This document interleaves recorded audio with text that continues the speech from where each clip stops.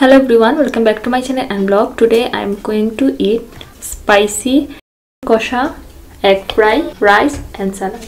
So let's try it. follow my facebook page link in the description box.